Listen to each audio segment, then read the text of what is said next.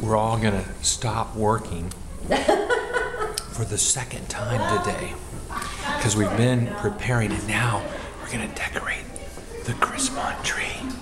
Super secret interdiocesan office stuff going on here.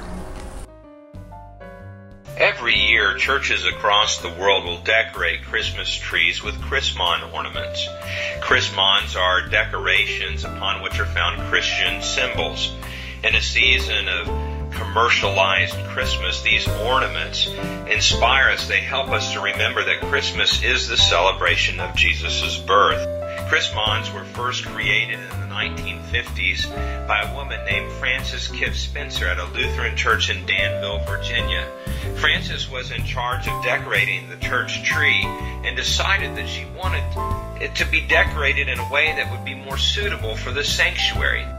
Inspired truly by the Holy Spirit, Frances reimagined the traditional Christmas tree then as a birthday cake for Jesus and thought of placing his name and title on it. But instead of doing this in English, she used Greek monograms. Simple monograms of Jesus Christ as well as a few crosses decorated that first tree in Frances's home church. As the beauty and meaning of Chrismons attracted people, she added other designs which were signs and symbols used by the earliest Christians. Francis even inaugurated the use of the word Chrismon, which is a combination of Christ and monogram. Chrismons can be made from nearly anything and are traditionally colored white and gold. White is the liturgical color of Christmas and symbolizes that Jesus was pure and perfect. Gold symbolizes his majesty and his glory. Our tree at your diocesan office is decorated with needlepoint Chrismons that were created by people in our congregations. Bishop Payne wanted to honor a true servant of the diocese, Dolly Bush, for her three years of service and devotion as the diocesan altar guild directress.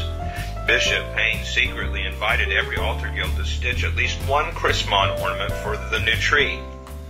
As soon as Advent arrived, Dolly came to the office to decorate the tree with the Chrismons given in her honor, and for many years Dolly continued to decorate that office tree.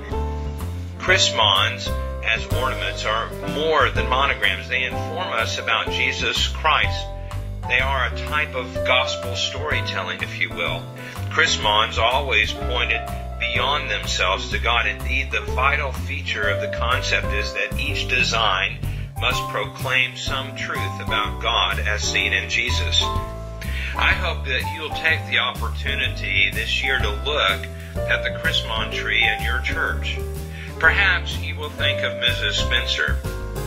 think as I reflect on this story, I am struck most about the holiness of a simple task of decorating a tree and how it has spread the gospel across the world and invited the telling and retelling of Jesus' birth.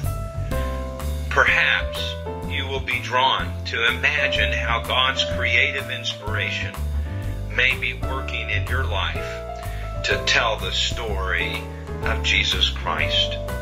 We hope that you will have a Merry Christmas and that the incarnation of God will be present in all of your holiday celebrations this year. Many blessings to you.